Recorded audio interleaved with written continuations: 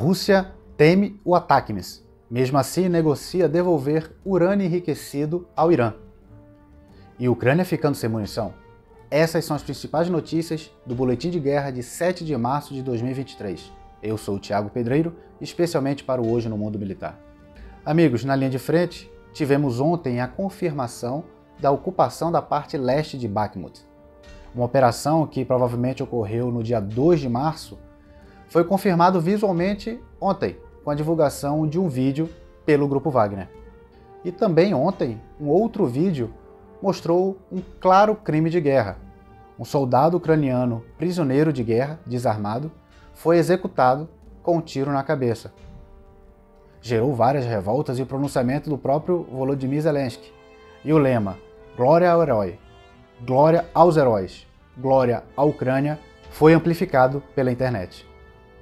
Uma carta obtida pelo Financial Times mostra o Ministério da Defesa ucraniano solicitando aos seus colegas da União Europeia o fornecimento de 250 mil projéteis de artilharia por mês. A Ucrânia estaria somente com um quinto do seu potencial de artilharia por falta de munição. É uma média de 110 mil projéteis de 155 milímetros por mês, o que é apenas um quarto do, da munição gasta pela Rússia no mesmo período. Em contraposição, ontem, vários ataques de artilharia russos à noite mostram que eles incrementaram a sua capacidade de fazer operações de artilharia noturna. Ucrânia anuncia novo diretor de departamento anticorrupção do país. Em seu perfil no Facebook, Siemen Krivonos informou que o seu trabalho vai ser pautado pela meta de que todo corrupto, antes de cometer um crime de corrupção, deve temer a Deus, ao povo ucraniano e ao seu departamento. Esse tema é importante porque muitos questionam o envio de ajuda a um país tão corrupto quanto a Ucrânia. O Kremlin já se prepara para eleições presidenciais de 2024, com uma participação efetiva de Putin na campanha, apesar do presidente não ter se pronunciado a respeito, porque ele tem um problema um pouquinho mais emergencial neste momento.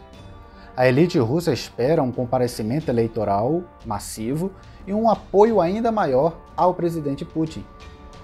Eles acreditam isso ao fato da anexação dos territórios ocupados na Ucrânia, que teriam sua população majoritariamente pró-Putin. E a Rússia estaria temendo o envio do ataque americano à Ucrânia. Esse temor seria comprovado pela recusa da Rússia em comprar mísseis balísticos de longo alcance do Irã. Isso seria o pretexto para que os Estados Unidos enviem o ATACMS, que tem um alcance de 300 quilômetros, para a guerra na Ucrânia.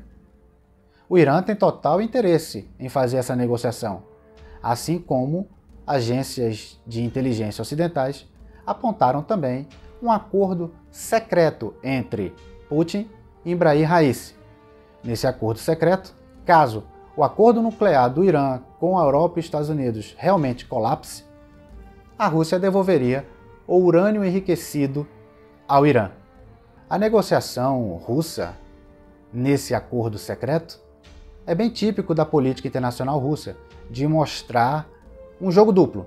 Enquanto está aliado ao seu parceiro iraniano, ele também mostra ao Ocidente que ele pode ser um bom negociador e que os Estados Unidos depende da Rússia para que o Irã não receba material nuclear.